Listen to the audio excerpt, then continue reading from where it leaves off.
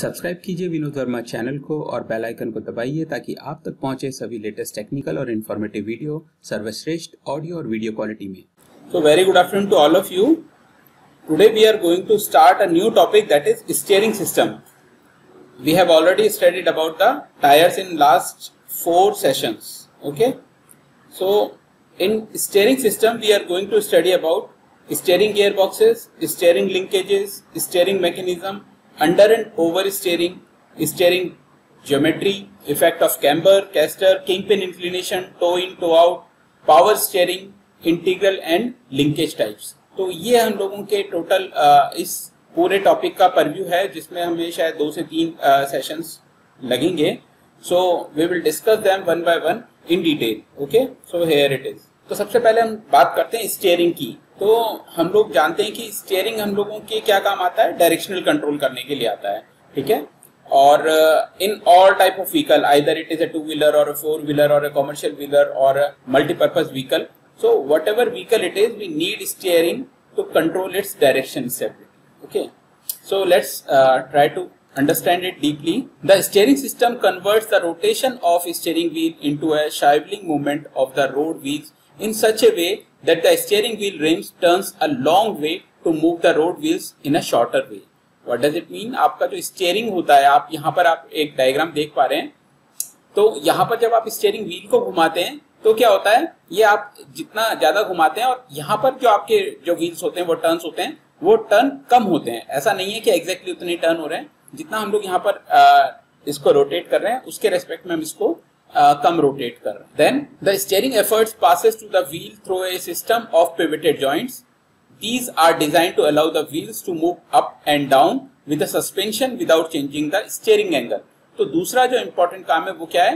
कि जो हम स्टेयरिंग व्हील आपको नज़र आ रहा है यहाँ पर, इस स्टेयरिंग व्हील से जो हम एफर्ट्स डालते हैं, हम जो इसको घुमाते हैं, ये क्या होता है? यहाँ से होता हुआ पूरा अपना एफर्ट्स हैं, उनको पास ऑन करता है with help of your pivoted joints तो यहाँ पर क्या होती है पिविटेड जॉइंट्स है सारे के सारे। ऐसा नहीं है कि रिजिड जॉइंट्स हैं, ये सारे कहीं ना कहीं पिविट किए हुए हैं और उसके रेफरेंस के हिसाब से क्या होता है, आपका फोर्स ट्रांसमिट होता है कहाँ तक? बिल्कुल एंड तक। तो इस तरीके से आपका जो व्हील है, वहाँ से आप टायर्स तक जो है ना, अपना एफर्ट्स को पहुंचाते हैं। दूसरा जो इंपॉर्टेंट बात है these are design to allow wheel to move up and down तो सबसे इंपॉर्टेंट बात यह है कि देखिए, आप जब स्टेयर करते हैं तो ऐसा नहीं है कि आपके जो दोनों व्हील्स हैं, ये लगातार रोड की सरफेस में टच होके चलते हैं पैरेलल चलते हैं और इनमें कोई भी अप एंड डाउन नहीं होता है। बिल्कुल होता है। तो जब गाड़ी चलती है तो कभी ये पंप में भी जाता है, कभी ये पिट में भी जाता है। तो इस वजह से ये जो एक्सेल होती है, ये ऊपर नीचे होती रहती हैं। तो ऐसा नहीं है कि आपका स्टेयरिंग डिस्टर्ब हो जाए। तो हमें बहुत प्रिसाइजली इसको डिज़ाइन करना पड़ता है कि हम स्टेयरिंग करते रहें। यदि गड्ढे में आ रही है, पानी में, कीचड़ में, किसी भी तरीके की यदि रोड सरफेस है, फिर भी हमारा स्टेयरिंग फेल नहीं होना चाहिए। और वो प्रॉपर काम करता रहे। तो दूसरा जो इंपॉर्टेंट चीज़ है, वो स्टेयरिंग का ये है। Then the third is they also ensure that where cornering the inner front wheel which has to travel round a tighter curve then the outer one becomes more sharply angled तो हमारे लिए important क्या है? कि जब हम cornering करते हैं, जब हम गाड़ी को किसी भी तरफ़ मोड़ते हैं फॉर एग्ज़ाम्पल इस डायग्राम में हम देखते हैं तो ये लेफ़्ट साइड में मुड़ती हुई दिख रही है। तो जब हम लेफ़्ट साइड में मोड़ेंगे तो जो इनर व्हील है इनर व्हील इस समय कौन सा हो गया? ये वाला। ठीक है? जो इनर व्हील है, ये शार्प कर्व लेता है। यानी कि यहाँ पर जो आपका जो कर्व है, वो ज़्यादा शार्प होता है। इस वजह से क्या होता है? यहाँ पर जो फोर्सेस होते हैं, वो भी ज़्यादा डेवलप होते हैं। तो उसको भी ये इजीली ले पाए। तो ये काम भी किसका होता है? हमारे स्टेयरिंग का। ठीक है? तो आप यहाँ पर देख पा रहे हैं हम एक डायग्राम देख रहे हैं। तो हम इसको समझ लेते हैं कि व्हाट दे आर एग्जैक्टली तो यहाँ पर आपको दिख रहा है, ये एक स्टेयरिंग व्हील है। उसके बाद कॉलम है। स्टेयरिंग कॉलम जिसको हम बोलते हैं, उसके बाद यूनिवर्सल जॉइंट लगा हुआ है यहाँ पर, एक नीचे भी लगाते हैं तो इससे क्या होता है कि आपका जो एक्सिस पर ये रोटेशन ट्रांसफ़र हो सकता है देन उसके बाद यहाँ पर हमारे पास रैक हाउसिंग है, यानी ये जो पिनियन और रैक जो सिस्टम है, उसको शो किया हुआ है, इसको हम आगे डिटेल में पढ़ेंगे then you will come to know तो ये बेसिक आपके पास स्ट्रक्चर दिखाया हुआ है, और यहाँ पर आपके पास में सस्पेंशन सिस्टम दिखाया हुआ है। नीचे यदि आप देखना चाहें तो एक एनिमेशन के थ्रू आपको दिखा रखा है कि किस तरह से व्हील रोटेट होता है तो उसके रेस्पेक्ट में आपके टायर्स अंदर या बाहर मूव करते हैं। तो यदि आप राइट में जब टर्न करते हैं तो टायर राइट में टर्न करते हैं, और जब आप लेफ़्ट लेते हैं तो गाड़ी के टायर लेफ़्ट टर्न लेते हैं। तो हम ये सब डिटेल में समझेंगे कि कैसे पॉसिबल होता है। Now the joint must be adjusted very precisely and even a little loosening in them makes the steering dangerously sloppy and inaccurate. तो देखिए, जितने भी जॉइंट होते हैं स्टेयरिंग के अंदर में, हमें बहुत प्रिसाइजली और बहुत एक्यूरेटली बनाने पड़ते हैं।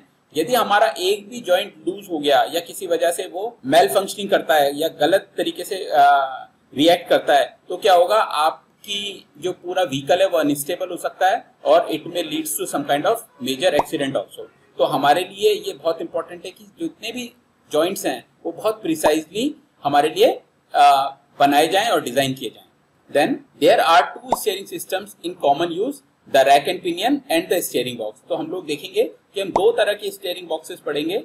जो स्टेयरिंग सिस्टम है, पहला वाला जो स्टेयरिंग सिस्टम है, वो बहुत सिंपल है that is called rack and pinion जो नीचे है, आप देख रहे हैं रॉड में एक रैक लगा हुआ है और यहाँ पर एक छोटा पिनियन लगा रहता है, जो इसको घुमाने का काम करता है। We will check it down in coming up slides on large cars either car may be powered assisted to reduce further the efforts needed to move it specially when the car is moving slowly तो देखिए जब भी आ, हम बड़ी cars की बात करते हैं या कमर्शियल व्हीकल्स की बात करते हैं तो स्टेयरिंग करना इतना आसान नहीं होता है। स्टेयरिंग में जब आप करते हैं तो बहुत दम लगाना पड़ता है। हमने टायर के टाइम में भी पढ़ा था यदि हम स्लो स्पीड में यानी 25 किलोमीटर पर आवर की स्पीड से लेस में यदि स्टेयरिंग करते हैं तो हमारे को बहुत ज़्यादा एफर्ट्स लगाने पड़ते हैं specially for radial tyres right तो यदि हम स्लो स्पीड की बात करें तो हमारे पास मैनुअल जो होता है फोर्स सफिशिएंट नहीं होता है टू स्टीयर तो हम लोग क्या करते हैं we can take use of power assisted यानी हम क्या होता है, अलग से पावर असिस्टेड स्टेयरिंग सिस्टम भी यूज़ करते हैं, वो भी हम डिटेल में पढ़ेंगे ओके okay? बाकी पुराने टाइम में सारे मैनुअल स्टेयरिंग सिस्टम आते थे, और आप देखते होंगे पुराने टाइम में जो बसेस चलाते थे सरदार जी या फिर कई लोग तो वो क्या होता था, बहुत एफर्ट्स डालते थे, बहुत ताकत से पूरे व्हील को घुमाते थे, तब जाकर उनका ट्रक लेफ़्ट या राइट घूमता था। लेकिन अब ऐसा नहीं है। अब क्या कर रहे हैं? हम पावर असिस्टेड स्टेयरिंग सिस्टम्स दे रहे हैं, जिससे कि हमारा काम बहुत आसान हो गया है। ओके सो ब्रॉडली यदि हम बात करें so steering can be classified into terms यदि हम बात करते हैं तो manual steering system relies solely on the driver to provide steering force तो पहला यदि हम बात करें तो वो मैनुअल होता है। मैनुअल यदि हम बात करें, पुरानी 800 कार यदि किसी ने देखी है या चलाई होगी तो आपको पता होगा कि उसमें पूरे एफर्ट्स आपको लगाने पड़ते हैं। बहुत ज़्यादा ताकत लगानी पड़ती है। तब आपका टायर लेफ़्ट या राइट घूमता था। तो वो टोटली क्या था? मैनुअल स्टेयरिंग सिस्टम हुआ करता था। ऐसे बहुत सारे पुराने व्हीकल्स हैं, उनमें सब में मैनुअल ही सिस्टम आता था। तो एफर्ट्स बहुत लगते थे उसके साथ में। ठीक है? और आप में यदि ताकत है तो आप घुमा सकते हैं। यदि किसी में ताकत नहीं है तो नहीं घुमा सकता। तो it solely depend on your power उसमें आपकी कोई मदद नहीं कर सकता। ड्राइवर को खुद को अपनी पावर यूज़ करनी पड़ेगी। Then the second is power assisted power steering जिसको हम बोलते हैं कॉमन भाषा में यूजेस हाइड्रोलिक और electric power to help the driver apply steering force तो अब जो स्टेयरिंग आने लगे वो बहुत इजी हो गए हैं, क्योंकि उनके अंदर हम पावर सोर्स यूज़ करते हैं। पावर किसी भी तरीके से ले सकते हैं हाइड्रोलिक ले सकते हैं या फिर इलेक्ट्रिकल ले सकते हैं, और भी एडवांस हमारे पास पावर स्टेयरिंग आ गए हैं। उनकी पावर को यूज़ करने से क्या होता है, सिर्फ़ आप स्टेयरिंग घुमाते हैं, उससे कोई पावर आपकी सीधे ट्रांसफ़र नहीं होती है। उसको घुमाने से सिर्फ़ और सिर्फ़ आप क्या करते हैं वॉल्स को एक्चुएट करते हैं। तो वॉल एक्चुएट होते हैं मतलब वॉल कितना खुलेगा या बंद होगा, सिर्फ़ उतना ही आप काम कर रहे हैं इस स्टेयरिंग को घुमा के। बाकी वॉल जितना खुलेगा, उतना ही हाइड्रोलिक प्रेशर क्या होगा, आपकी लाइन में जाएगा और वो अपना काम कर देगा। तो आपको बहुत कम एफर्ट्स लगाने पड़ते हैं स्टेयरिंग के ऊपर में और आप देखेंगे कि आप एक उंगली से पूरे गाड़ी को घुमा सकते हैं। इतना इजीली हो गया है आजकल आपका पावर असिस्टेड स्टेयरिंग सिस्टम ठीक है? तो I hope all of you are agree with me now let's move ahead यदि हम कॉमन जो इसके पार्ट्स हैं, उसकी बात करें तो हम बात करते हैं both manual and power steering systems have common components तो हमारे कॉमन कंपोनेंट्स कौन कौन से हैं? फ़र्स्ट इज़ इनपुट कंपोनेंट्स तो हम इनपुट किससे देते हैं? First one is steering wheel तो आप देख रहे हैं, ये जो गाड़ी के अंदर आपको दिखता है that is called steering wheel तो ये बहुत कॉमन है आप सबने देख रखा होगा. Then second is steering column तो स्टेयरिंग कॉलम क्या होता है? जो इसको सपोर्ट करता है स्टेयरिंग व्हील को जो सपोर्ट करता है, यहाँ पर स्टेयरिंग कॉलम लगा होता है. हम कुछ एडवांस की भी बारे में बात कर लेते हैं यहाँ पर. ये जो स्टेयरिंग कॉलम है, पहले गाड़ी में स्ट्रेट आया करता था, लेकिन यहाँ पर जो बैठने वाला आदमी है, उसकी हाइट कम ज़्यादा हो सकती है तो वो क्या होता था प्रॉपर इसको हैंडल नहीं कर पाता था। तो अब क्या हो गया है, जो स्टेयरिंग कॉलम्स आने लगे वो टिल्टेड टाइप आने लगे यानी यहाँ पर क्या होता है, यहाँ से टिल्ट कर सकते हो आप इसको। यहाँ पर एक नॉब होती है, उसको आप डिटैच करके इस स्टेयरिंग को ऊपर नीचे ले सकते हो। इसी तरीके से कुछ लोगों की यदि सीट पीछे कर रहे हैं वो लेंथ ज़्यादा है या हाइट ज़्यादा है तो वो क्या कर रहे हैं स्टेयरिंग अपनी चेयर को पीछे करते हैं तो उनको स्टेयरिंग और पास चाहिए तो ये पुल भी हो सकता है पुल और पुश भी हो सकता है, ठीक है? तीसरी एडवांस जो चीज़ है स्टेयरिंग कॉलम की, वो ये है कि यदि कभी एक्सीडेंट होता है इन केस तो क्या होता था, आदमी सीधे जाकर के स्टेयरिंग पे लगता था, और सबसे ज़्यादा जो डेथ होती थी, वो इसी कारण होती थी, क्योंकि ये जो स्टेयरिंग होता था, ये सीधे क्या होता था, आपकी चेस्ट में लगता है, और सीधे आपके हार्ट पे इफ़ेक्ट करता है। तो ये एक बहुत बड़ी दिक्कत थी, जिसको अभी क्या किया है within securities we can say within safety हम लोगों ने इसको इम्प्रूव किया है और अभी जो गाड़ियाँ आ रही हैं, उसमें ये जो कॉलम है this is coming collapsible column तो ये कॉलम जो होता है कॉलेप्स हो जाता है। कॉलेप्स का मतलब क्या है कि यदि इस पे स्ट्राइक होती है, किसी भी तरह से तेज फोर्स आता है तो ये टूट के पूरा स्टेयरिंग अंदर चला जाता है। तो जो ऑक्यूपेंट होता है या ड्राइवर होता है, उसको इससे क्या होता है हर्ट नहीं होता है। होता है, कम होता है, लेकिन तो वो इतना सीवियर नहीं होता है। तो ये मैं आप लोगों को साथ में एडवांस चीज़ें भी बताता चलूँगा इसके अंदर तो I hope all of you understand this steering column तो ये क्या करता है स्टेयरिंग कॉलम ये सिर्फ़ केसिंग प्रोवाइड करता है। यानी कि ये सिर्फ़ क्या कर रहा है? इसको कवर प्रोवाइड करा रहा है। स्टेयरिंग शाफ्ट जो होती है वो इसके अंदर से पास ऑन हो रही है। तो स्टेयरिंग शाफ्ट आप देखेंगे तो नीचे वाले डायग्राम में आपको दिख रहा है, एक शाफ्ट है अंदर। वो शाफ्ट इसी में से होती हुई पार हो रही है, आगे निकल रही है। ठीक है? So this is about the steering shaft तो ये बेसिक अरेंजमेंट है जो कि हर एक में होता है मैनुअल में भी होता है और पावर स्टेयरिंग में भी ये चीज़ आपको देखने को मिलेगी। आगे यदि हम इसके अटैचमेंट्स को देखें तो आप देखेंगे the steering shaft connect to the steering gear through one और मोर तो क्या होता है स्टेयरिंग जो यहाँ पर निकल रही है शाफ्ट ये या तो यदि हम बात करें रैक एंड पिनियन है तो डायरेक्टली जाकर के अटैच हो जाती है रैक के साथ में, लेकिन यदि आपके पास में गियर बॉक्सेस लग रहे हैं स्टेयरिंग गियर बॉक्स लग रहे हैं तो आपके पास में क्या होता है, यहाँ पर कुछ और लिंकेजेस बीच में लगते हैं और उनके थ्रू होता हुआ ये क्या करता है? गियर बॉक्स में जाता है। तो यहाँ से जब हम इसको किसी एंगल पर टर्न करते हैं तो हमें क्या ज़रूरत है कि हमें यहाँ से एंगुलर जो मूवमेंट है, वो हम लोगों को क्या चाहिए? किसी एक एंगल पर चाहिए। तो हम लोग यहाँ पर, हमने पहले भी पढ़ा था प्रोपेलर शाफ्ट के केस में, हम लोग डिफरेंशियल यूज़ करते हैं। तो हमने यहाँ पर डिफरेंशियल यूज़ किया हुआ है। तो डिफरेंशियल से क्या होता है कि आप किसी भी एंगल पर अपने टॉर्क को ट्रांसफ़र कर सकते हैं। तो जो टॉर्क आप यहाँ पर दे रहे हैं, वो किसी एंगल पर होता हुआ आपके अंदर गियर बॉक्स में जा रहा है। This is called steering gear box ठीक है? तो इसी के अलावा हम लोग फ्लेक्सिबल स्टेयरिंग कपलर भी यूज़ करते हैं over here you can see either of them we can use it over here ठीक है?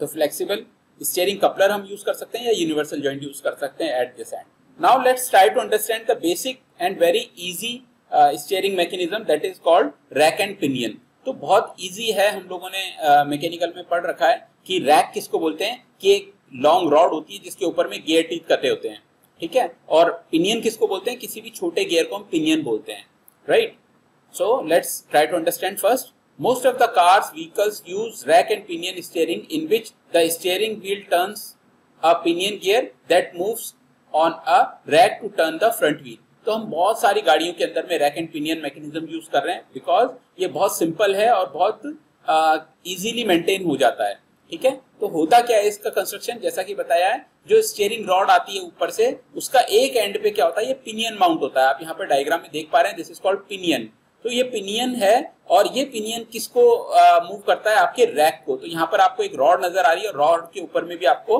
टीथ नज़र आ रहे हैं। तो इस तरीके की अरेंजमेंट को हम क्या बोलते हैं? रैक तो यहाँ पर आपके पास क्या नज़र आ रही है? एक पिनियन और ये है आपके पास दिस इज़ योर रैक तो आपका जब ये कॉम्बिनेशन होगा और जब आप इसको रोटेट करेंगे, ठीक है? तो ये आप देख रहे हैं स्टेयरिंग कॉलम है आउटर वाला और स्टेयरिंग आर्म अंदर से आ रही है, ठीक है? तो स्टेयरिंग आर्म के ऊपर में एक एंड पे ये आपका पिनियन माउंटेड है। तो आप जब भी आप रोटेट करेंगे स्टेयरिंग को तो क्या होगा? ये पिनियन आपका लेफ़्ट राइट मूव नहीं कर सकता है। यहाँ पर हमने क्या कर रखा है इसको? लोकेट कर रखा है। ये अपनी जगह पे फिक्स रहेगा। तो ये सिर्फ़ रोटेट कर सकता है, ये लेफ़्ट राइट मूव नहीं कर सकता। तो इसके रोटेट करने से क्या होगा? जो नीचे लगा हुआ रैक है, वो लेफ़्ट या राइट में स्लाइड करेगा और ये आगे चल करके हमारे स्टेयरिंग को मूव करेगा। यदि आप राइट साइड के डायग्राम में देख पा रहे हैं तो राइट साइड के डायग्राम में आपको दिख रहा है कि ये सिंपल एक, आपको टू दिखाया हुआ है। कि यहाँ पर आपको एक गियर दिखाया हुआ है और यदि आप स्टेयरिंग को मूव करते हैं तो किस तरीके से आपका रैक जो होता है वो लेफ़्ट एंड राइट मूव करता है। और लेफ़्ट एंड राइट जब मूव करता है तो हमारे पास यहाँ पर टाई रॉड होती है और इसकी वजह से क्या होता है हमारा पूरा जो व्हील है वो लेफ़्ट राइट मूव करता है। हम इन चीज़ों को डिटेल में आगे देखने वाले हैं। ठीक है? सो so, ये बेसिक मैकेनिज्म होता है rack and pinion At the base of steering column, there is a small pinion gear wheel. Inside a housing. Its teeth match with a straight row of teeth on a rack and traverse bar तो यहाँ long ट्रेवर्स बार लगी हुई है this is called rack और इसी को ये क्या करता है? मूव करता है।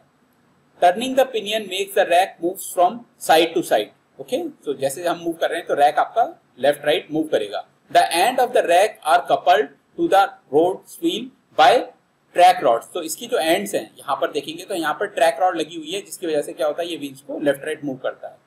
This system is simple with few moving parts to become one and displace so its action is precise तो इसमें बहुत कम मूविंग पार्ट्स हैं, इसलिए इसका जो एक्शन है, वो भी प्रिसाइज है, क्योंकि लिंकेजेस बहुत कम हो गए हैं। सीधे स्टेयरिंग कॉलम से आया और हमने इसको नीचे रैक पर जोड़ दिया। तो it is very simple A universal joint in the steering column allows it to connect with the rack without angling the steering wheel awkwardly sideways. तो यदि हम बात करें कि यदि हम बिल्कुल यहाँ से एक अलाइनमेंट देखें, यहाँ से हम सीधा रोड एक रॉड को ले जा करके अंदर ड्राइवर कंपार्टमेंट में देने की कोशिश करें तो हो सकता है ये रॉड ऊपर हो जाए या नीचे हो जाए। तो हम नहीं चाहते कि ये बिल्कुल इसके ज्योमेट्री के हिसाब से ड्राइवर को मेंटेन करना पड़े। तो हम बीच में क्या करते हैं we can give one universal joint तो यूनिवर्सल जॉइंट देने से क्या होता है, हम ड्राइवर के हिसाब से जो आगे व्हील लग रहा है, उसको ऊपर या नीचे कर सकते हैं। ठीक है? So this is about your rack and pinion arrangement now let's try to understand the steering linkages तो जो स्टेयरिंग लिंकेजेस है, इसका मतलब ये होता है कि आपका स्टेयरिंग से लेकर के, यानी स्टेयरिंग व्हील से लेकर के व्हील तक कैसे आपका जो टॉर्क है वो ट्रांसफ़र होता है, इसको हम डिटेल में समझने वाले हैं। So we will try to understand each and every part precisely तो सबसे पहले हम बात करते हैं लिंकेजेस होते कितने टाइप के हैं। तो broadly there are two types of linkages first one is car and light vehicles they have independent front suspension तो जितनी भी कार्स होती हैं या लाइट व्हीकल्स होते हैं, उनका जो आगे का यदि हम सस्पेंशन सिस्टम देखें तो वो क्या होता है? इंडिपेंडेंट होता है। इंडिपेंडेंट का मतलब क्या हो गया? कि बीच के अंदर में कोई भी आपके पास में डेड एक्सेल नहीं लगी होती है, ठीक है? तो that is called independent system और दूसरा हम बोलते हैं commercial vehicle this is called rigid axle type front ठीक है? तो कॉमर्शियल व्हीकल यदि ट्रक बस इनमें आप देखते हैं तो आगे की साइड में आपको एक रिजिड एक्सेल नज़र आती है। ये जो डायग्राम दोनों दिख रहे हैं, ये आपको रिजिड एक्सेल टाइप की दिख रहे हैं। यहाँ पर आप नीचे लिखा है रिजिड एक्सेल सस्पेंशन तो ये जो डायग्राम है दोनों, यहाँ पर आपको नज़र आ रहा है, यहाँ पर रिजिड एक्सेल लगी हुई है सर्कुलर और यहाँ पर कुछ अलग शेप की रिजिड एक्सेल लगी हुई है, जो कि फोर्स को ज़्यादा ले सकती है। हमने जब एक्सेल पढ़ा था, उसमें हमने देखा था what is dead axle and live axle तो यहाँ पर दोनों ही एक्सेल डेड हैं और लोड बियरिंग है, ठीक है? तो यहाँ पर जो दूसरा टाइप होता है, वो होता है रिजिड एक्सेल टाइप तो let start with rigid axle type rigid axle का मतलब क्या हो गया कि हैवी कॉमर्शियल व्हीकल्स में हम लोग इसको यूज़ करते हैं और यहाँ पर एक रिजिड एक्सेल लगा होता है, ठीक है? तो हम बिल्कुल स्टार्टिंग से बात करेंगे कि इसका कंस्ट्रक्शन कैसा होता है तो लेट्स ट्राई टू अंडरस्टैंड सबसे पहले हम बात करते हैं स्टेयरिंग व्हील की। तो यहाँ पर आपको स्टेयरिंग व्हील नज़र आ रहा है, जो कि ड्राइवर कंपार्टमेंट में होता है। और स्टेयरिंग व्हील को आप क्या कर सकते हैं, घुमा सकते हैं, जिससे कि आप अपना टॉर्क क्या हो सकता है, आगे ट्रांसफ़र कर सकते हैं। तो स्टेयरिंग व्हील के बाद में जो नेक्स्ट आता है that is called steering column driving shaft ठीक है? तो स्टेयरिंग कॉलम लगा हुआ रहता है आउटर पेरीफेरी पे और ड्राइविंग शाफ्ट इसके अंदर से होती हुई बाहर निकलती है। यहाँ पर आपके पास जो दिख रहा है, ये this is your steering box अभी स्टेयरिंग बॉक्स क्या काम करता है we will discuss in detail but in short I can tell you कि स्टेयरिंग बॉक्स क्या करता है, आपके एफर्ट्स को कम करता है। स्टेयरिंग जो आपके पास टॉर्क है, उसको मल्टीप्लाई करता है। ये काम यहाँ पर गियर बॉक्स का होता है स्टेयरिंग गियर बॉक्स का, ठीक है? देन व्हाट वी हैव यहाँ से आप देखेंगे तो स्टेयरिंग गियर बॉक्स के बाद जो हमें आउटपुट मिलता है this is comes in the form of drop arm. यहाँ पर एक ड्रॉप आर्म लगी होती है, इसको हम कई बार पिटमैन आर्म भी बोलते हैं, ठीक है? यदि आप यहाँ पर देख पाएँगे लेफ़्ट साइड में तो ये थ्री चल रहा है साथ के साथ में तो हम कंपेयर करते रहते हैं। तो यहाँ पर आपको स्टेयरिंग व्हील दिख रहा है then we have steering column then we have steering rod then यहाँ पर स्टेयरिंग बॉक्स दिख रहा है। तो स्टेयरिंग बॉक्स से जो निकलता है this is your drop arm और पिटमैन आर्म तो ये ड्रॉप आर्म या पिटमैन आर्म क्या करती है आपकी? एंगुलर मूवमेंट करती है। एंगुलर मतलब कि ये किसी एंगल पर टर्न करती है, क्योंकि ये जब स्टेयरिंग से निकलती है तो इसका जो मूवमेंट होता है, वो क्या होता है? एंगुलर फॉर्म में होता है। तो उससे होता यह है कि जब आप इससे ड्रैग लाइन लिंक को जोड़ते हैं, ये आपको ड्रैग लिंक दिख रहा है, या लिंक रॉड भी बोलते हैं इसको, जब आप इसको इससे जोड़ते हैं तो क्या होता है? ये जो पिटमैन आर्म है, जब ये ऊपर की तरफ़ जाएगी, यानी बैक साइड में एंगुलर मोशन करेगी तो ये पिटमैन जो लिंक रॉड है, इसको अपनी तरफ़ खींचेगी, यानी पीछे की तरफ़ खींचेगी राइट और इसी तरह से जब ये आगे की तरफ़ एंगुलर मूवमेंट करेगी तो ये इसको आगे धक्का देगी।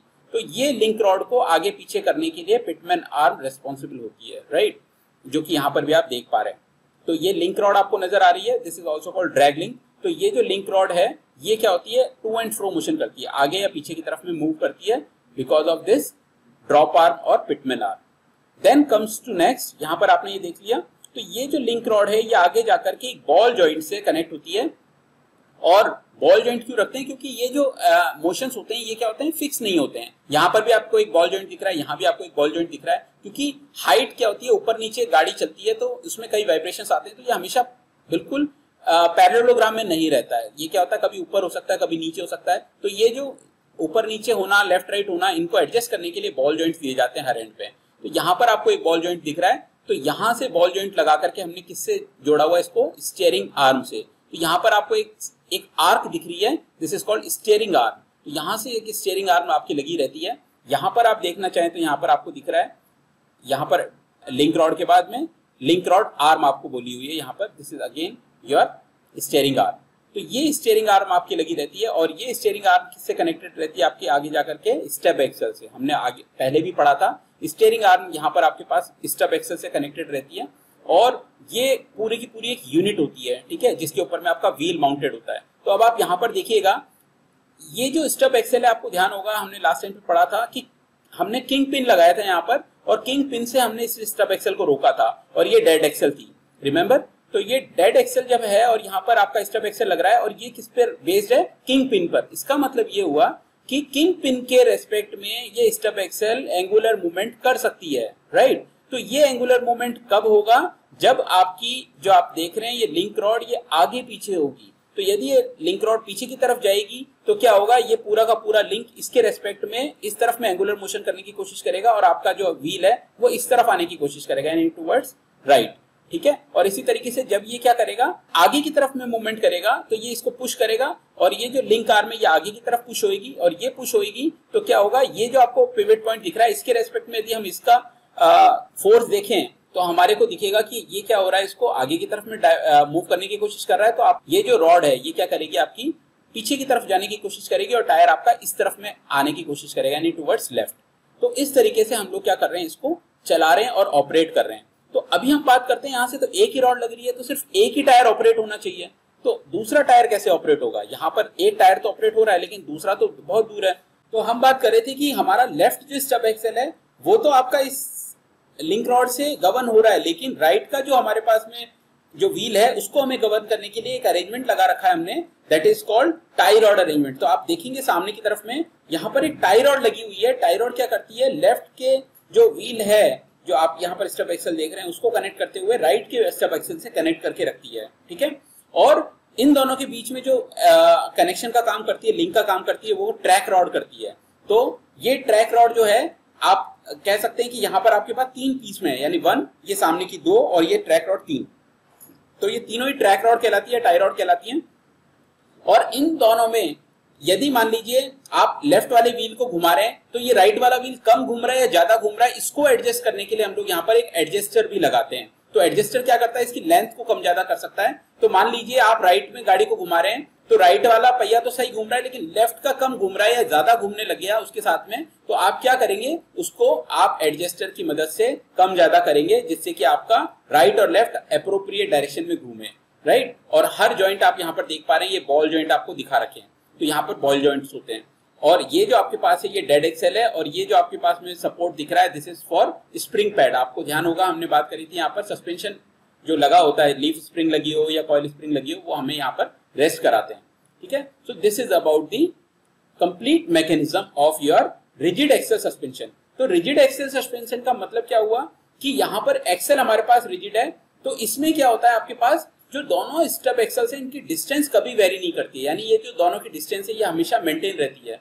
तो इसी वजह से क्या होता है? आपका लेफ़्ट और राइट का जो डिस्टेंस है, वो हमेशा कांस्टेंट रहता है। इसलिए हमने एक परमानेंट रॉड हमने बीच में दे दिया है। दिस इज़ टाई रॉड लेकिन आगे हम पढ़ेंगे कि जो इंडिपेंडेंट फ्रंट सस्पेंशन होता है, उसमें ऐसा नहीं होता है। ठीक है? तो इस पर्टिकुलर केस के लिए जहाँ पर रिजिड एक्सेल होता है, वहाँ पर हम लोग क्या करते हैं? We can provide rigid axle suspension system में स्टीयरिंग देते हैं। रिजिड जो एक्सेल होता है, उसके अंदर में हम इस पर्टिकुलर टाइप का सस्पेंड स्टीयरिंग सिस्टम देते हैं। ठीक है? तो यही सारी चीज़ें आपको यहाँ पर दिख रही है। स्टीयरिंग व्हील दिख रहा है स्टीयरिंग कॉलम दिख रहा है देन आपके पास में स्टीयरिंग बॉक्स दिख रहा है ड्रॉप आर्म दिख रही है then we have link rod then we have ball joint then we have steering arm over here then we have track rod arm track rod arm यहाँ भी लग रही है and one more over here and one is over here तो ये आपके पास में टोटल आपके पास असेंबली है. On the end we have stub axles on both the sides and this is king pin तो ये किंग पिन जो हमने लास्ट टाइम में बात करी थी जब हम लोगों ने स्टब एक्सेल पढ़ा था तो किंग पिन की मदद से ये क्या होता है? डेड एक्सेल के साथ में स्टब एक्सेल को जोड़ा जाता है। तो I hope all of you understand this particular rigid axle type of steering यदि अब हम बात करते हैं कार्स के अंदर में क्या होता है या लाइट व्हीकल्स में क्या होता है तो आप देख रहे हैं कि this is independent front suspension independent front suspension का मतलब क्या है? कि लेफ़्ट वाला व्हील और राइट वाले व्हील के बीच में किसी तरह का कोई भी एक्सेल नहीं जुड़ा हुआ है राइट दे आर इंडिपेंडेंट तो इंडिपेंडेंट टाइप से क्या मतलब हुआ? क्या फ़ायदा हुआ? कि मान लीजिए लेफ़्ट वाला व्हील जो है, वो गड्ढे में जाता है तो आपकी पूरी ज्योमेट्री खराब नहीं होती है, सिर्फ़ यही का जो सस्पेंशन है, वो काम करता है, वो अप एंड डाउन इस व्हील को कराता है। बाकी rest of the three wheel stay in their position जबकि हम यदि पहले वाले की बात करते हैं तो क्या होता है, पूरी की पूरी गाड़ी क्या होती है, टेढ़ी हो जाती थी। यदि हम इस वाले सस्पेंशन रिजिड की बात करें तो यदि एक पहिया ऊपर उठता है तो दूसरा पहिया भी क्या होता है एंगल पर टिल्ट हो जाता है। और यदि राइट वाला उठता है तो राइट पूरी गाड़ी राइट में टिल्ट हो जाती है। ठीक है? तो ये एक प्रॉब्लम होती थी हमारे पास में रिजिड एक्सेल में। तो इंडिपेंडेंट टाइप में जो कार्स में हम लोगों को कंफर्टेबल चाहिए तो हम लोगों ने क्या किया यहाँ पर? इंडिपेंडेंट टाइप सस्पेंशन सिस्टम बना दिया। अब यहाँ पर प्रॉब्लम क्या हो गई? वो इंपॉर्टेंट हम समझते हैं। As far as steering is concern तो स्टेयरिंग से हमें क्या हो गया कि यदि मान लीजिए एक पहिया ऊपर या नीचे उठता है तो आपके पास जो डिस्टेंस है, किसकी? लेफ़्ट से लेकर के राइट साइड की सब एक्सेल की, वो कांस्टेंट नहीं रहती है। वो क्या होता है? लगातार वेरी करती है। तो अब ये एक हमारे लिए बड़ी समस्या खड़ी हो गई कि यदि हम यहाँ पर एक रिजिड एक्सेल लगा देते हैं या रिजिड टाई लगा देते हैं तो क्या होता है? ये कभी भी टूट जाएगी या फिर बकल हो जाएगी, क्योंकि ये जो डिस्टेंस है, ये लगातार चेंज हो रही है because both the ends are independent now तो हमने यहाँ पर कुछ चेंज किए हैं। Let's try to understand this steering once again again हमारे पास स्टेयरिंग व्हील है स्टेयरिंग कॉलम है, वहाँ तक ठीक है। फिर लिंक लगी हुई है शाफ्ट लगी हुई है। दोनों साइड में हमारे पास यूनिवर्सल ज्वाइंट यहाँ पर दिखा रखे हैं। This is lower universal joint उसके बाद पिनियन शाफ्ट लगा रखी है, क्योंकि यहाँ पर आपका पिनियन जुड़ा हुआ रहता है तो ये पिनियन शाफ्ट कहलाती है, जो इस पिनियन को जोड़ के रखती है। तो पिनियन शाफ्ट के बाद आपके पास में यहाँ पर रैक टाइप भी हो सकता है, या फिर आपके पास में कोई स्टेयरिंग गियर बॉक्स भी हो सकता है। तो यहाँ पर मान लेते हैं हम कि यहाँ पर रैक टाइप लगा हुआ है, और यहाँ के बाद में आपके पास में ये आगे रैक एंड पिनियन हाउसिंग लगी हुई है, जिसके अंदर में आपका रैक मूव कर सकता है लेफ़्ट एंड राइट ठीक है? तो ये आपके पास में यहाँ पर आप देखेंगे, अब टाइरॉड यहाँ पर लगी हुई है, यहाँ पर आपके पास में बॉल ज्वाइंट दिए हुए दोनों एंड्स पे, और ये भी बॉल जॉइंट आपको दिया हुआ है, इस साइड पर भी। तो अब क्या हुआ आपके पास? जो टाइरॉड है, उसके बाद हमने यहाँ पर जो टाइरॉड है, इसको बॉल जॉइंट से, और यहाँ पर हमने इसको क्या किया है? स्टब एक्सेल के साथ में कनेक्ट किया है, और दूसरी जो साइड का है, वहाँ पर भी हमने क्या किया इसको? इस स्टब एक्सेल के साथ में कनेक्ट किया है राइट और अब क्या फ़र्क पड़ा या क्या इंपॉर्टेंट फीचर है इसका, वो हम समझते हैं कि यदि मान लीजिए, अब लेफ़्ट एंड राइट क्या हो रहा है आपका? व्हील ऊपर या नीचे हो रहा है तो हमारे पास में फ़र्क क्या पड़ रहा है कि अब ये सिंगल पार्ट में नहीं है, ये हमारे पास में थ्री यूनिट्स के अंदर में है। और यहाँ पर ये बॉल ज्वाइंट लगा हुआ है, ये भी बॉल ज्वाइंट लगा हुआ है। तो यदि मान लीजिए ये ऊपर नीचे होता भी है तो क्या होता है आपका ये बॉल और ये बॉल क्या करती है, उसको लेंथ को वेरी कर लेती है एडजस्ट कर लेती है। इस वजह से क्या होता है, इसमें लेंथ वेरिएशन ऑटोमेटिक हो जाता है। जबकि पहले वाले के अंदर में क्या था, हम लोगों को लेंथ फिक्स मिलती थी जबकि इसके अंदर में हमारे को लेंथ फिक्स नहीं मिलती है, इसीलिए हम लोगों को ये अरेंजमेंट करना पड़ा। And this is called independent front suspension system okay तो this is the basic difference between your earlier and the present one okay now let's move ahead यदि हम बात करते हैं स्टेयरिंग गियर बॉक्सेस की तो स्टेयरिंग गियर बॉक्सेस अभी हमने बात करी कि स्टेयरिंग कॉलम से स्टेयरिंग रॉड निकलती है और यहाँ पर हम क्या करते हैं, हमारे एफर्ट्स को कम करना चाहते हैं। तो हम यहाँ पर क्या कर रहे हैं स्टेयरिंग गियर बॉक्स लगा रहे हैं और स्टेयरिंग गियर बॉक्स भी कई तरीके के हो सकते हैं। ठीक है? तो the steering gear box contains the gear that transmit the driver's steering input to the steering linkage that turns the wheel तो हमारे पास क्या होगा? जो इनपुट आया ड्राइवर से, उसको क्या करेगा ये? आगे लिंकेज में भेजने से पहले उसका रेशियो चेंज करेगा। And it multiplies the driver steering changes to that the front wheel moves more than the steering wheel तो इससे फ़ायदा क्या हुआ? आप स्टेयरिंग व्हील जितना घुमा रहे हैं, उससे ज़्यादा आपको, आपके टायर्स मूव होते हुए दिखेंगे। तो ये जो एफर्ट्स हैं, वो कौन कर रहा है? आपका गियर कर रहा है। So let's try to discuss different gears तो हम सबसे पहले जिस गियर की बात करते हैं, वो है वॉम एंड वॉम व्हील तो वॉम एंड वॉर्म व्हील बहुत सिंपल टाइप का गियर मैकेनिज्म होता है। तो यदि आप यहाँ पर देखेंगे तो आपको यहाँ पर एक वॉर्म नज़र आ रहा है और एक आपके पास वॉर्म व्हील नज़र आ रहा है। ठीक है? तो वॉर्म को कौन घुमाएगा? आप घुमाएँगे। यानी वॉर्म का जो डायरेक्शन होगा, उसको रोटेशन होगा, उसको कौन करेगा? वो आपका स्टेयरिंग व्हील करेगा। तो जैसे ही आप स्टेयरिंग को घुमाएँगे तो आपका वॉर्म रोटेट करेगा। और वॉर्म के जो टीथ हैं, वो क्या है? वॉर्म व्हील के टीथ के साथ में मैच होते हैं। तो जैसे ही आपका वॉर्म घूमेगा, वो क्या करेगा? क्योंकि वो आगे पीछे जा नहीं सकता है। वो एक ही जगह घूम रहा है तो क्या होगा? उससे रिलेटेड जो भी टीथ है, वो या तो आगे पीछे की तरफ़ में मूव करने की कोशिश करेंगे। तो ओवरऑल आपको देखेंगे तो आउटपुट पे आपको एक एंगुलर मूवमेंट मिल रहा है। तो आप देखेंगे कि जब आप इसको पूरा लेफ़्ट टर्न करेंगे तो आपका व्हील पूरा आगे की तरफ़ दिखेगा और जब आप राइट टर्न करेंगे तो ये पूरा व्हील आपका वापस बैकवर्ड टर्न करेगा। तो ये आपके पास एक एंगुलर आपको मूवमेंट यहाँ पर देखने को मिल रहा है। यदि आप यहाँ पर देखेंगे इसके स्केच के अंदर में तो ये स्टेयरिंग व्हील को जा रहा है ये वाला पोर्शन और यहाँ पर आपके पास एक वॉर्म क्या है? माउंटेड है। ये वॉर्म का टीथ किससे माउंटेड है? वॉर्म व्हील से माउंटेड है। और वॉर्म व्हील किससे कनेक्टेड होती है? आपकी ड्रॉप आर्म से। तो ये ड्रॉप आर्म क्या होगी? आपकी एंगुलर मूवमेंट करेगी। तो आप यहाँ पर अब देख के समझ पा रहे होंगे कि हम जब स्टेयरिंग को रोटेट करते हैं तो किस तरह से ड्रॉप आर्म एंगुलर मूवमेंट करती है। ठीक है? तो मैं एक बार आपको वापस लेके चल रहा हूँ। यहाँ पर अभी हमने डिस्कस किया था कि जब हम इसको रोटेट करते थे लेफ़्ट में तो ये ड्रॉप आर्म जो होती थी, या तो पीछे की तरफ़ में एंगुलर मोशन करती थी या आगे की तरफ़ में एंगुलर मोशन करती थी? तो ये एंगुलर मोशन किसकी वजह से हो पा रहा है? क्योंकि आपका गियर बॉक्स लग रहा है अंदर और वो गियर बॉक्स क्या कर रहा है? इसको एंगुलर मूवमेंट दे रहा है। I hope you can now correlate this diagram तो आपको यहाँ पर समझ में आ रहा है कि जैसे आप स्टेयर को घुमाते हैं, ये एंगुलर मूवमेंट होता है ड्रॉप आर्म का और ये ड्रॉप आर्म से क्या होती है? आपकी लिंक आर्म जुड़ी रहती है तो वो उसको लेफ़्ट आगे या पीछे करने के काम करती है। ठीक है? So this is very very simple type of arrangement here we can say worm and wheel अब आप यहाँ पर एक चीज़ देख रहे हैं इंपॉर्टेंटली कि आपके पूरे टीथ आपके काम नहीं आ रहे हैं, यानी कि आपकी पूरी पेरिफेरी पे टीथ कटे हैं, लेकिन आपके बहुत कम ही टीथ काम में आ रहे हैं। तो आगे चल के क्या किया गया कि हमने सोचा कि इसकी कॉस्ट को रिड्यूस किया जाए तो हमने बाकी टीथ को हटा दिया। So another one is worm and sector type तो हमने इसमें क्या चेंजेस किया कि पूरा व्हील ना लगा करके हमने क्या किया, सिर्फ़ एक सेक्टर ले लिया, जो सेक्टर हमारे लिए सफिशियंट था इस वॉर्म को घुमाने के लिए। तो हम जब भी बॉम्ब को घुमा रहे हैं तो अब इस डायग्राम में हम चेंजेस क्या करेंगे? यहाँ पर हम सिर्फ़ सेक्टर ले लेंगे, इतना सेक्टर काट के। बाकी के व्हील को हम नहीं बनाएँगे, ठीक है? तो यहाँ पर लेफ़्ट साइड के डायग्राम में आपको नज़र आ रहा है ये सेक्टर और जैसे ही आपके पास में वॉर्म घूमेगा, ये सेक्टर अगेन क्या करेगा? एंगुलर मूवमेंट करने की कोशिश करेगा। और यहाँ पर आपको ड्रॉप आर्म इसके साथ अटैच दिख रही है। तो ड्रॉप आर्म भी क्या करेगी? आपकी एंगुलर मूवमेंट करेगी। नीचे यहाँ पर आप देख रहे हैं कि रियलास्टिक आपको वॉम एंड सेक्टर दिखा रखा है। और वॉर्म क्या हो रहा है आपके पास? ये देखिए, ये रॉड है, इसके अंदर यहाँ पर आपको वॉर्म नज़र आ रहा है और ऊपर की तरफ़ में आपको यहाँ पर क्या नज़र आ रहा है? सेक्टर आर्म नज़र आ रही है। तो जब आप इस स्टेयरिंग कॉलम को घुमाते हैं, जब स्टेयरिंग रॉड अंदर से घूमेगी तो ये क्या करेगी? इस सेक्टर को रोटेट करने की कोशिश करेगी और जैसे ये रोटेट करेगी तो आपकी जो बाहर इससे ड्रॉप आर्म जुड़ी हुई है, वो एंगुलर मूवमेंट करेगी। ठीक है? तो I hope all of you understand this worm and sector type of arrangement the next one is cam and double roller तो देखिए मैकेनिज्म हर जगह एक ही चल रहा है, बस हम लोगों ने कॉन्टेक्ट चेंज करते जा रहे हैं, ठीक है? तो इनमें क्या था? इनके अंदर में पूरा कॉन्टेक्ट सरफेस बहुत ज़्यादा था तो फ्रिक्शन बहुत ज़्यादा हुआ करता था। तो हमने क्या किया? थोड़ा फ्रिक्शन कम करने के लिए हमने cam and double roller arrangement use किया। यहाँ पर हम लोगों ने क्या किया? केम यूज़ करी है और डबल रोलर्स आगे यूज़ करें। तो केम आप लोगों ने देखा होगा, जो प्रोफ़ाइल मिलती है, उसको फॉलो करती है। तो जैसे जैसे आपका क्या होगा? अगेन आपके पास में ये घूमेगा स्टेयरिंग रॉड घूमेगी तो आपके पास में क्या होगा? ये फॉलोवर्स आगे पीछे जाने की कोशिश करेंगे, और जब ये आगे पीछे जाने की कोशिश करेंगे तो ये अगेन ड्रॉप आर्म आपकी एंगुलर मूवमेंट करेगी। तो यहाँ पर सिर्फ़ कॉन्टेक्ट चेंज करने के लिए आपके क्या किया गया है? डबल रोलर फॉलोवर्स यूज़ किए गए हैं।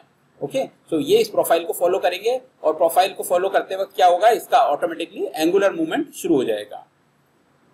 So the next one is worm and nut steering ये भी बहुत कॉमन जो है स्टेयरिंग जो गियर बॉक्स है, बहुत कॉमन स्टेयरिंग गियर बॉक्स है, बहुत काम में लिया जाता था। इसका जो इम्पोर्टेंट हम पहले इसका कंस्ट्रक्शन देख लेते हैं।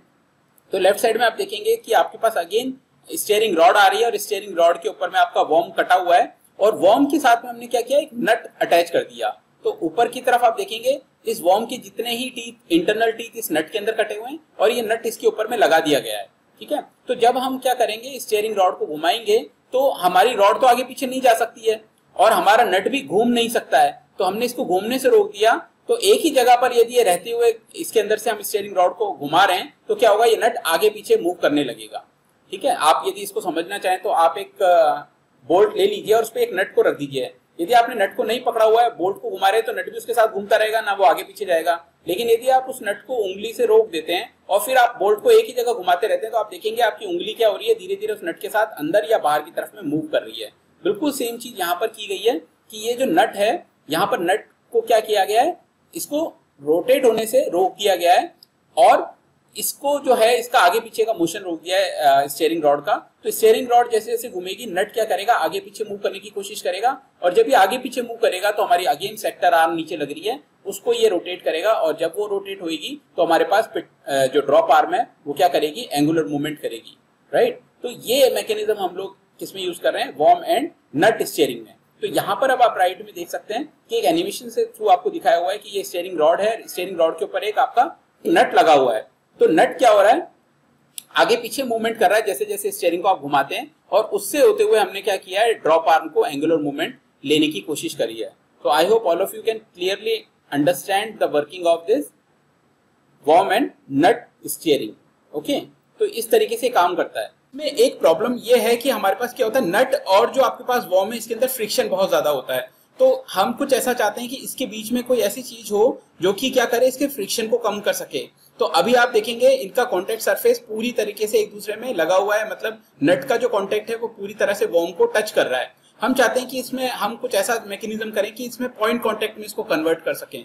तो हमने इसी को एडवांस करके हमने क्या किया वी ट्राई टू डू हमने चाहा कि ये जो बीच की जो गैप है मतलब जो आपकी थ्रेड है वॉर्म के ऊपर में और जो नट के अंदर में, इसके बीच में क्यों ना हम कुछ बॉल्स डाल दें लाइक बॉल बेयरिंग की जो बॉल्स होती हैं, उस तरह की हम बॉल्स डाल दें तो क्या होगा, हमारा फ्रिक्शन कम हो जाएगा और हमारा जो नट है, वो उन बॉल्स के रेस्पेक्ट में चलेगा। यानी बॉल्स बीच में रहें और वो डायरेक्टली कांटेक्ट नहीं करे, वो नट वॉर्म को डायरेक्ट कांटेक्ट नहीं करे, जबकि बीच के अंदर में क्या रहनी चाहिए? बॉल्स रहनी चाहिए। तो प्रॉब्लम क्या आई हमारे साथ में? कि हमने बॉल्स एक बार तो भर दी, लेकिन जैसे जैसे हमारा नट आगे पीछे हो रहा है तो हमारी क्या होती है बॉल्स खत्म होने लग गई।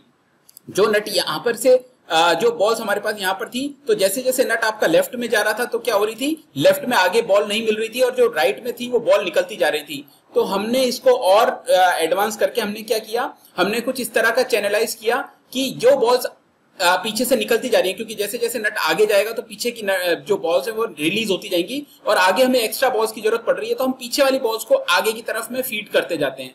और इसी तरीके से जब उल्टा होता है तो हमारे को पीछे से जब हमारा बॉल्स निकल रही होती है तो पीछे की फ़ीड को हम क्या करते हैं? आगे करते रहते हैं। इसका मतलब जिधर भी डायरेक्शन होता है, हम चाहते हैं वहाँ जो बॉल्स हैं सर्कुलेट होते रहे, और बार बार रिसर्कुलेट होती रहे मतलब पीछे से निकलेगी और आगे की तरफ़ जाएँगी। तो this is why it is called recirculating type balls ठीक है? तो हमने इसको एडवांस किया तो अब आप यहाँ पर देख पा रहे हैं रिसर्कुलेटिंग बॉल टाइप आपका गियर बॉक्स है, और ये बहुत ज़्यादा कॉमन होता है, बहुत ज़्यादा इफ़ेक्टिव है, और बहुत ज़्यादा गाड़ियों में इस्तेमाल किया जाता है। तो आप सबसे पहले लेफ़्ट वाला जो डायग्राम देख रहे हैं तो इसके अंदर में सबसे पहले आप यहाँ पर देखेंगे तो ये स्टेयरिंग शाफ्ट आपको नज़र आ रही है, और स्टेयरिंग शाफ्ट के ऊपर में ये जो आपको पास नज़र आ रहे हैं, ये वॉर्म गियर है। तो ये पूरी जो शाफ्ट है, इसके ऊपर वॉर्म गियर कटे हुए हैं। और ये जो वॉर्म गियर कटे हुए, इस पे पहले तो क्या होता था, ये जो नट था, ये डायरेक्टली लगा जाता था, लेकिन अब हमने क्या किया, इस नट को थोड़ा सा बड़ा बना दिया, और जो बीच का स्पेस है, यानी कि जो वॉर्म गियर है, वहाँ से लेके नट का जो इनर जो आपके पास पेरीफेरी है, यहाँ तक हमने क्या किया बॉल्स डाल दी, जैसे बॉल बियरिंग की बॉल होती है, वो बॉल्स हमने पूरे में फिल कर दी, जितनी चाहिए थी, एक बार में नट में उतनी हमने फिल कर दी, उसके अलावा हमने एक पूरा का पूरा पाथ बना दिया और ये क्या करता है पाथ एक तरफ़ से जहाँ से बॉल निकल रही होती है, ये दूसरी तरफ़ में रिसर्कुलेट करता है। तो ये डिपेंड करता है कि यदि ये नट आगे जा रहा है तो आगे जब जाएगा, तब क्या होगा? आगे हमें और बॉल्स की ज़रूरत पड़ेगी और पीछे से जो बॉल्स हैं वो खत्म होती जाएँगी। तो जैसे जैसे नट आगे बढ़ेगा, पीछे की बॉल्स क्या होंगी? यहाँ से निकलती जाएँगी और वो ऊपर में फ़ीड होती रहेंगी। तो इस तरह से हमेशा जैसे जैसे आगे जाता रहेगा, इसको नई बॉल्स मिलती रहेंगी। इसी तरीके से जब ये वापस रिवर्स आएगा तो क्या होगा? पीछे की बॉल्स रिलीज़ होंगी तो ये पीछे से बॉल्स को क्या करेगा? रिलीज़ करेगा और आगे की तरफ़ फ़ीड करता रहेगा। तो इसको हमेशा आगे की तरफ़ में बॉल्स मिलती रहेंगी और ये उन पर चलता रहेगा और पीछे की बॉल्स जो निकल रही थी, वो वापस से रिसर्कुलेट होती है। तो very very you can say beautiful use of your technology तो यहाँ पर आप देख पा रहे हैं this is ball nut rack है ये आपके पास में। ये बॉल्स हैं आपके पास में। These are called recirculating ball bearing ठीक है? ये आपके पास वॉर्म गियर हो गया, ये आपके पास अगेन सेक्टर गियर हो गया। जैसा हमने पहले, जैसा हमने पहले सेक्टर गियर देखा था, उसी तरह की सेक्टर गियर है और यहाँ पर आपके पास पिटमैन आर्म या ड्रॉप आर्म लगी हुई है जो कि एंगुलर मूवमेंट करती है। ठीक है? तो जैसे जैसे आपका नट आगे पीछे होता है वैसे वैसे ये क्या करती है? पिटमैन लेफ़्ट या राइट मूव करती है। यदि हम इसका एक पिक्चोरियल व्यू देखें तो राइट साइड में आपको यहाँ नज़र आ रहा है। ये आपके पास वॉर्म गियर नज़र आ रहा है और यहाँ पर आपके पास जो नट है बॉल नट जिसको बोलते हैं वो बॉल नट यहाँ पर आपका लगा हुआ है जिसके अंदर लगातार आपकी बॉस आ रही हैं। तो आप देख रहे हैं यहाँ से बॉस निकल रही है और ये खाली जगह है यहाँ पर इस कैविटी में ये बॉस आगे फ़ीड होती रहेंगी।